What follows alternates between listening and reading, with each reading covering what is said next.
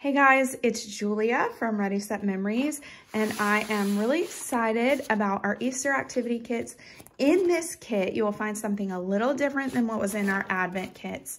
You will find, along with all the fun activities, you will find these pages that say talking about and an event in Holy Week. Holy Week is the week in the Christian calendar from Palm Sunday to Easter, and these pages will help you and your family discuss and navigate through that day um, together. And so you'll find talking about the Last Supper, various activities talking about Good Friday, and then you'll finish up with talking about Easter.